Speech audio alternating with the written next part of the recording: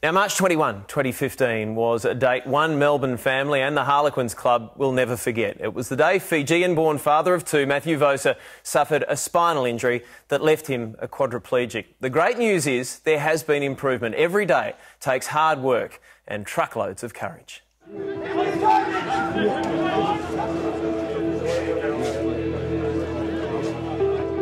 The day was on, on the injury. I was looking forward to be the first game of my last season. Then we had that first line out.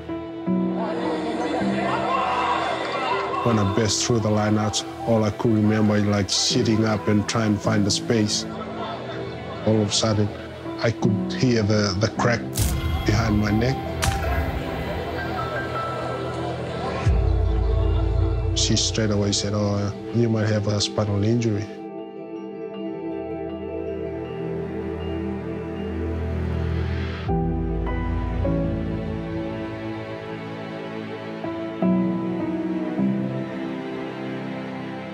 When it first happened, basically couldn't move his lips, that was it. He had to learn to lift his arms, you know, he couldn't even scratch his nose, change the channel on the remote, nothing. We had to do everything for him. Zakia, come and get your bag. They've been home with Dad a lot of the time because I work three days a week, so they've uh, had to entertain themselves. Are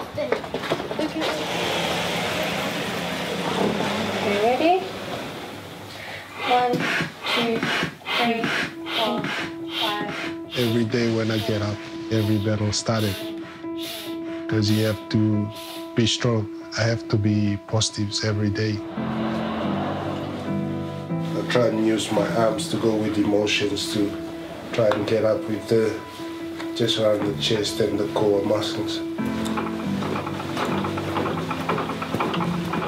I'm doing uh, sit-ups, trying to do 200 of that ones every morning. Pretty hard when you finish rugby you still got that feelings in your body to get fit every day. And that's one big thing that I have to look forward to. You have to be strong. Most of the emotions that I have to just keep it to myself. So I, I don't want to share it. I don't want to show it to my kids how tough the, uh, the journey is. Matthew's around six foot eight. We've had to get everything specially made, like even the commode. We paid more for the commode than we did for his first car, believe it or not. Five and a half thousand dollars for a shower, shower chair. We got an extension mattress on the bed so that I can fit in. It actually doesn't fit him. They've had to put an extension in. Otherwise, my calves will be hanging off the edge of the bed.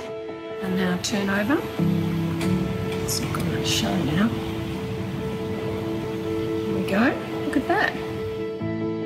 They've taken one of the donor nerves from here and put it in his thumb, and they've taken one of the donor nerves from here and put it in his fingers. So hopefully he should be able to do this after two years.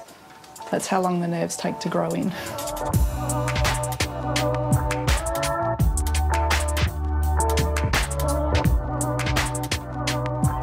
Now he's feeding himself, he, you know, can hold a cup by himself, drink. He's doing thousand piece jigsaw puzzles for therapy.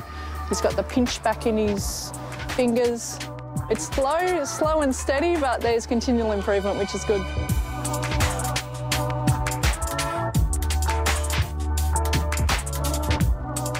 So when the injury happened, there was a group of us that got together and we really wanted to start some fundraising. The support was outstanding, to be honest. Um, we had support all the way up from our U.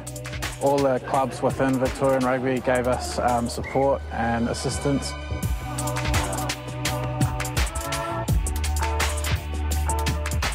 Some of the expenses have been astronomical. This is a, a never-ending sort of mission that we're on. We've just got to keep on pushing and see where it sort of takes us. Nah, I don't regret anything. I do, I still love rugby. When I went down to the club, just enjoying being there and love the atmosphere. Yeah, I never regret playing rugby when I had this injury because I had a lot of injuries before I had my spinal injury.